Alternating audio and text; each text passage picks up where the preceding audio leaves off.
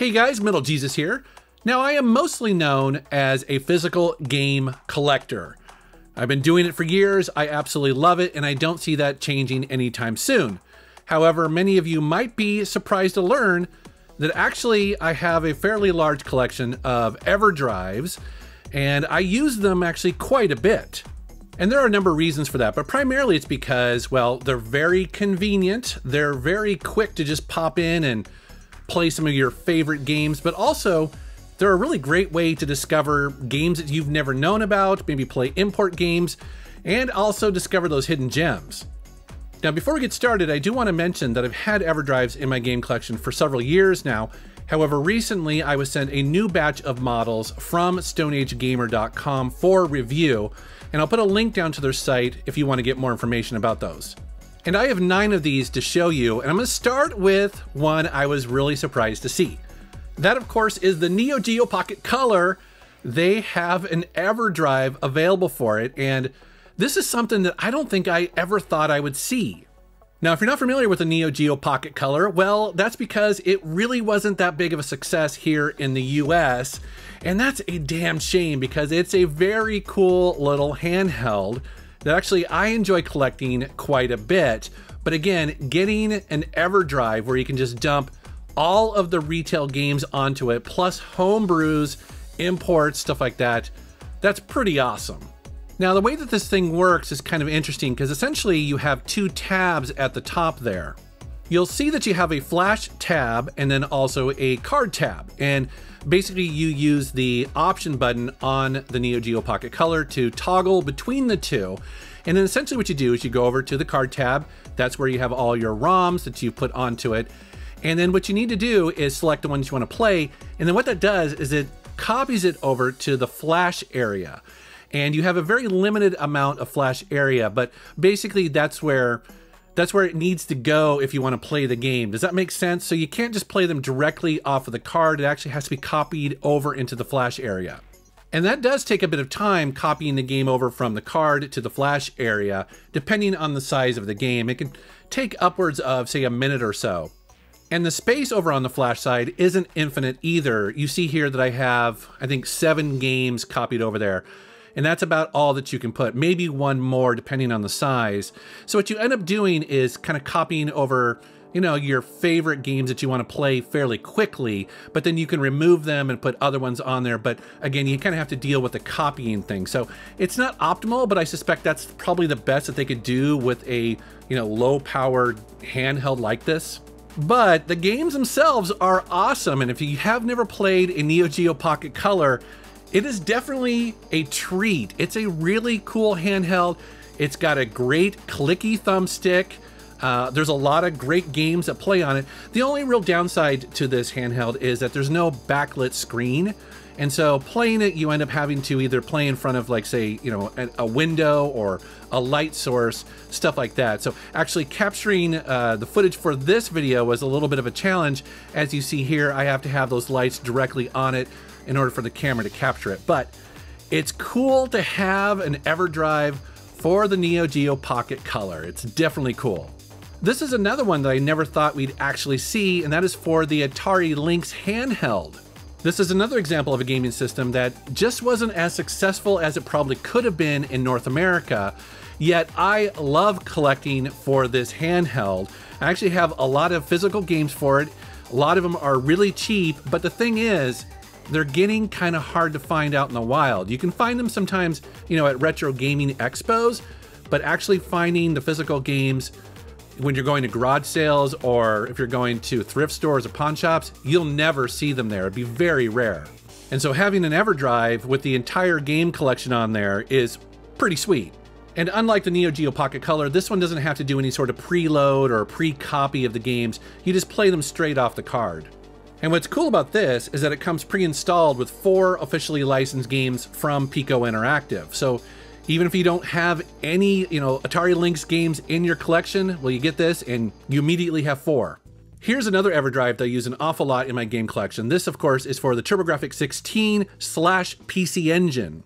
And again, this is another system that's really fun to explore because you know, the, the TurboGrafx 16 wasn't a huge success in North America, but it had a decent library and some really fun games to play.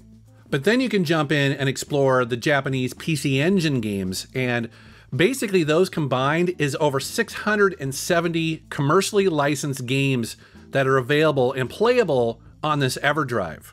And so there's a lot there to explore and discover. I think that's why I enjoy this so much, because I actually don't have hardly any Japanese PC Engine games. I have a few TurboGrafx games. They're getting kind of hard to find. And I'll tell you what, I put this in. You see me, I'm using actually the Turbo Express here. That's one of my favorite ways to do it on the handheld. I just play random games, you know, and a lot of them are in Japanese. You may not know what's going on, but you know, once you kind of dig into the game and actually get to the gameplay, there's always something interesting to discover. Moving on to the Game Boy, this is another one I use an awful lot, and the reason is because, well, quite frankly, there are over a thousand original Game Boy and Game Boy Color games. So there's just a ton of stuff to explore here. Here's where I need to talk a little bit about the naming convention used on these EverDrives. You may have noticed here that this says X7, and in this video, you'll notice that there'll be some X5s, maybe some X3s. Now, what's going on here is that they have different levels of complexity and features depending on the price that you want to pay.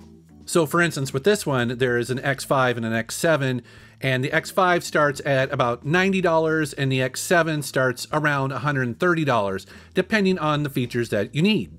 So for instance, the X5 at the lower price doesn't support save states or a real-time clock, where the X7 at $130 does. So depending on what you're looking for and what you need when you're gaming, you can choose the price that's right for you. And that's going to vary per EverDrive and the features that they include. What's nice is that Stone Age Gamer actually lays these out on a grid in a full comparison. So that way you can decide, do you want to go with the cheaper one, save a little bit of money, or maybe you're just hardcore, you need all the features, all the functionality, and well, you can make that decision. Moving on to the N64 is another one that I use an awful lot, and I have for years now, actually. And that's because primarily, you know, when I do an N64 video for my YouTube channel, yes, I have a lot of the physical games, but so much easier, so much more convenient for me to just pop in the EverDrive and I have the entire library there, plus other regions. And I guess that's the thing with these EverDrives is that, you know, I don't consider that this is a replacement for my physical game collection because I still really like having the physical games on the shelves with the manuals and the boxes and all that sort of stuff. But again, it's just so much more convenient to, to use this right here. This is also where I should probably mention that if you are in the market for these and you've looked on eBay, you may have noticed that the name and also the labels and the look of some of these has changed over the years. For instance, you see my original Ultra EverDrive 64 here that I've used for years. Well, that now is just called the EverDrive 64, and some of the artwork has changed. Now, it's my understanding that they needed to change some of these for legal issues, but if you're on eBay or you go into a retro gaming store and you see both of these, they're basically the same thing. The newer ones probably have new features, but these old ones work and function just great. The one thing to note though is that these older ones were a mix of standard SD cards and then some of them would have micro SD. And now all of the new EverDrives just use micro SD. And here's another one that changed its name. So this is my original SD2 SNES, which now is called the FXPAK Pro. And this is one where you kind of have to decide for yourself what features you want and how much you want to pay because the cheaper one starts at about $90 and then this Pro that you're looking at here, well, that's almost double at $197. But the big advantage of getting the Pro is that you get all of the extra Super Nintendo chip compatibility. So for instance, if you're gonna wanna play those eight Super FX or Super FX 2 games, well, you're gonna wanna get the Pro. Now, one of the cool features is that you can go in and actually tweak how fast the processor runs, which might give you a few more frames, which is really nice because some of those games can run pretty, pretty badly.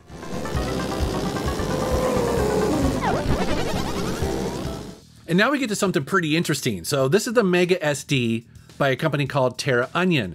Now, when this was originally released, people were blown away because essentially what they did is they recreated the Sega CD and the Mega CD in hardware emulation via a FPGA. What that means is you no longer needed your Sega CD hardware plugged into your Sega Genesis to play those game backups. And I have to say, I do like this product a lot. It's very high quality, very powerful, really well supported, uh, just supports a ton of features, and it's got a really cool interface. I also like how it supports the file type ISO and not just bins. That makes it way easier to get games on here that will run with the CD audio and things like that. But it ain't cheap. It actually costs $270. So that is quite a pill to swallow if you are looking at these. But the good news is actually Krikzz was not to be outdone. He actually took some extra time and created three versions of his called the Mega EverDrive. And so he has an X3, X5, and an X7 versions of this, depending on your price point and also the features that you're looking for. And so you see the X7 version here, which of course is the more expensive version, but it's still cheaper than the Terraonion option. And, you know, to my eyes, they actually are very similar. Every game I threw at it just worked exactly the same, no matter which one I had. But again, I do like the Terraonion interface. I know it's kind of dumb to say so, but I think it looks pretty cool. It looks very retro and old school. And again, having ISO file support, that was actually pretty nice when I was getting this set up.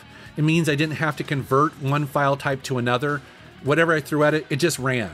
But again, I think you would be happy with whatever version you get. Again, just go to StoneAgeGamer.com and look at the chart comparing them all. And then just decide, you know, do you need in-game menus? Do you need save states? Stuff like that. And then we get to the classic original Nintendo Entertainment System, another EverDrive that I end up using an awful lot, primarily for convenience.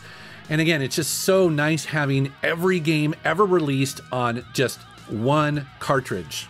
And in many ways, this is the one that started it all for a lot of us. I have my original one here that again I've used for years and then going to the new version here. Very similar in feel for sure. Uh, the interface looks almost exactly the same. The only difference really is that, again, the old one had a standardized SD card and the new one is micro. And so if you have one of these older ones, you know, I'd be hard pressed to really recommend that you upgrade because you probably don't need to, really. But the good news is that they're well supported and you can find them almost everywhere. And they have got new firmware updates over the last couple years, fixing little bugs and compatibility issues as people find them.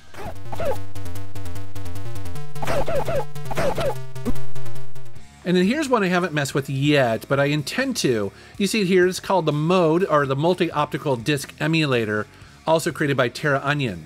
And so what this is, it's a hardware emulator for the optical drive for either the Dreamcast or the Sega Saturn. And these have become quite popular over the last couple years. Uh, you see I have one here installed in my orange GameCube, so it's replacing the optical drive in there with an SD card, and then you just put you just put the disk images in there, and it functions exactly the same. Which is cool because you don't have to worry about wear and tear on the physical drive itself, or also the disc, which, as you know, can well they can degrade over time, they can get scratched. And the reason why I haven't jumped into the mode just yet is because one, I don't know if I trust myself to install it. I've looked at videos and it looks like it's pretty simple, but the other thing is, and I'm kind of looking for your help here, I'm not sure which system I should put it in. Should I put it in the Sega Saturn, which has an amazing lineup of import games? Or should I put it in the Dreamcast, which is a little bit newer, has an amazing US lineup of games? I can't decide. So I don't know. I mean, let me know down in the comments which console you think I should install it into. Also, let me know if you are using EverDrives in your game room. And this video is not meant to be a deep dive of the features of each one of these. Instead, it's meant to be just an overview of what's available out there. But I do recommend that you check out a YouTube channel called My Life in Gaming, which has dedicated hardcore videos about each of the features included in each one of these devices. Sometimes they'll spend like an hour on each one, really getting into the nitty gritty. It's an awesome channel, so definitely check it out if you want to know more. And as always, guys, thank you very much for watching. Thank you for subscribing, and take care.